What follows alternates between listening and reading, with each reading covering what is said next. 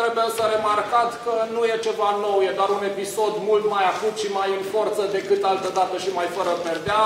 Până la urmă, deja în anii 90 aveam politicieni care s-au manifestat așa ca niște apologeți ai proiectului și am avut de-a lungul anilor cam, din păcate, din multe partide și multe fețe politice. Nu e ceva recent. Până acum, domnul Băsescu nu și-a exprimat public.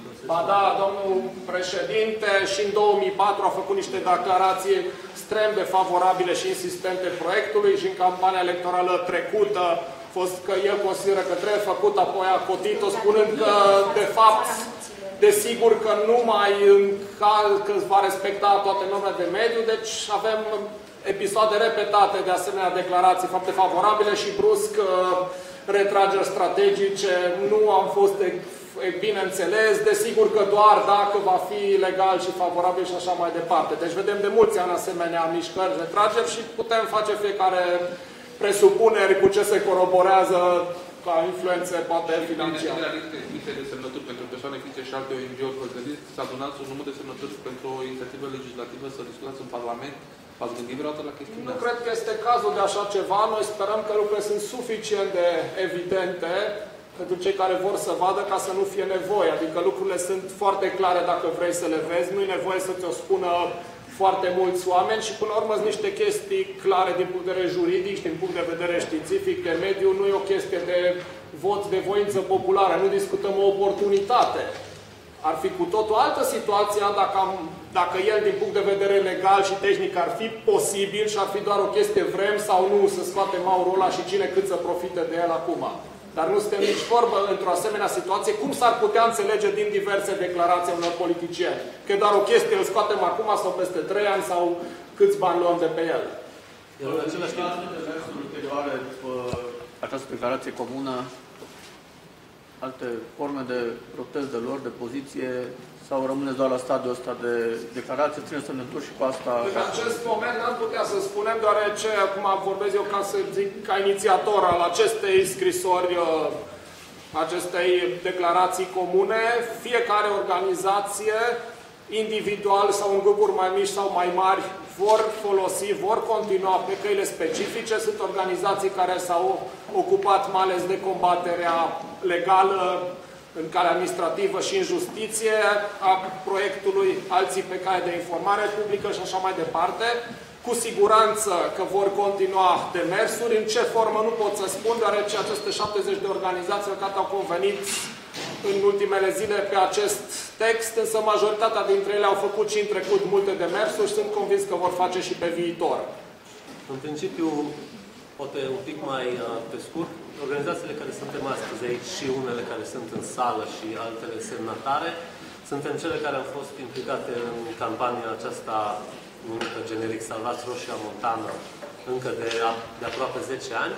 Uh, acest moment, această declarație este un element dintr-o campanie care, ca și finalitate, în mod clar este stoparea proiectului de la Roșia Montană și, uh, evident, ceea ce s-a făcut până acum, același gen de activități, se va face și în continuare. Această declarație de acum este o reacție la ceea ce s-a vehiculat în presă și felul în care uh, guvernul actual sau unii reprezentanți ai guvernului actual au înțeles să se manifeste cu o vehemență neobișnuită în favoarea acestui proiect. Nu, cel puțin îmi place să ne judecăm. Asta facem de vreo 5 ani de zile și cred că o să ne mai judecăm încă foarte mult timp de acum încolo. Și, uh, practic, da, o să trebuiască să atacăm în instanță toată această avalanșă de acte care probabil o să ne parvină în următoarele luni, aceste comisii și comitete și așa, probabil că o să emită un fel de autorizații sau avize sau în ce formă vor înțelege ele să dea uh, demersurile lor. Și avem capacitatea, deci legea ne um, acordă dreptul de a merge în instanță și de a contesta uh, legalitatea uh, și substanțială și uh, procedurală a, a tuturor acestor acte. Și până acum am făcut aceasta cu o anumită rată de succes și uh, vom face în continuare. Și apoi, bineînțeles, în paralel cu asemenea demersuri interne, poți să sesizezi uh, um, autorități cum ar fi Comisia Europeană. Uh, La nivelul Comisiei Europene există un departament de infringement, se numește, deci în care orice parte interesată poate să sesizeze o încălcare a unei directive europene de către statul care îi aparține. Avem deja deschis un asemenea caz pe tema Roșia Montană și vom continua să continuăm să um, alimentăm cazul respectiv cu tot mai multe asemenea probe și dovezi că în cazul Roșia Montană se încalcă directive europene privind evaluarea impactului asupra mediului și participarea publică și accesul la informație și așa mai departe. Există posibilități de intervenție la nivelul Parlamentului European și uh, da, acestea câteva exemple. Dacă proiectul totuși va demara, sunt dispuse... Roxana Toderaș, redactor la Ziarul de Acțiune.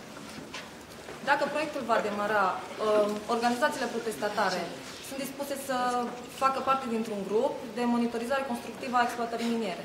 La întrebarea asta eu am mai răspuns. la chestiune. Chiar întrebare pusă de către John Ashton, îmi place că vorbiți în numele companiei. Uh, și la această întrebare am răspuns foarte clar că nu își are sensul pentru că acest proiect nu poate să demareze. Este atât de aberant proiectul în sine, încât el nu va demara niciodată. Toate studiile, nu are sens să avem acum dezbaterea asta, toate studiile pe care noi le-am depus ca și răspuns la procedura de evaluare a impactului. Să nu se creadă că nu vrem să răspundem, vă spun foarte deschis. S-au purtat diverse discuții, știu sigur că există organizații care au spus că în mod cert nu se vor implica în niciun fel și nu vor încerca să colaboreze pentru că consideră că el nu va are voie să miște niciun metru. Poate că există în țara asta din foarte multe organizații și unele care își poate pun pe problema dacă totuși începe să discute, să vadă dacă se implică. Nu știu dacă careva a discutat serios sau la vreo decizie, deci nu cred că cineva vă poate răspunde în acest moment. Poate dacă identificați o reacție punctuală din sutele care au abordat chestiunea. Răspunde tehnic cerințelor etc. Cine spune lucrul acesta? Care sunt specialiștii pe mediu, pe patrimoniu? Puteți găsi pe site-ul roșiamontană.ro o listă lungă de documente în care specialiști români și străini au spus acele chestii.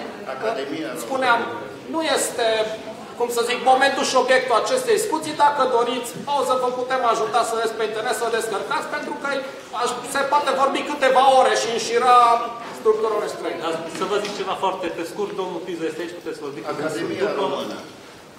Vă ajunge? Vă trebuie ceva superior Academiei. Putem trimite o listă unde găsiți surse, deoarece sunt pagini întregi. Tuturor proiectelor industriale din România sau doar proiectele miniere de la Roșia Montană?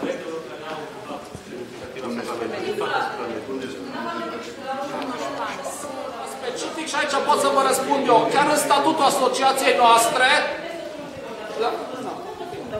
Răspuns scurt, de- să nu se ia de ceva specific. Este un caz model care poate fi un precedent cumplit pentru altele, de aceea poate impresia este că e un accent mai mare, pentru că e de gravitate maximă, dar, de exemplu, asociația noastră și-a asumat chiar prin statut combaterea oricăror mari exploatări miniere de suprafață în zone montane. Deci oricine va vrea chestie similară.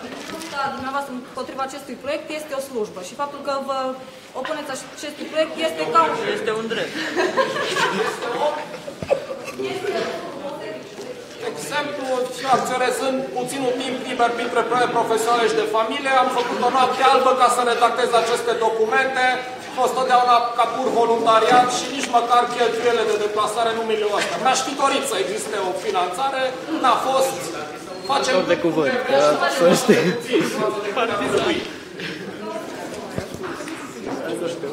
Care-i fișa postului? Mulțumim, atunci suntem gata pentru declarație dumneavoastră. Thank you.